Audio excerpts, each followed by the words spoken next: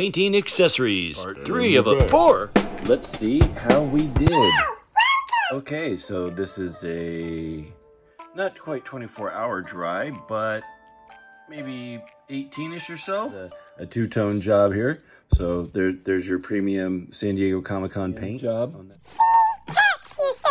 Did, did you just freeze me? okay. Yeah, little kitty, there are singing cats. In- These are looking good. Okay, so mine is a lot whiter. To darken that up, we may need to do a, a paint mix. Second eyeball. this may be a perfect match. Perfect! Right out the gate. How about putting some paint up on that sledgehammer? And I know how the dope toys got all the toys.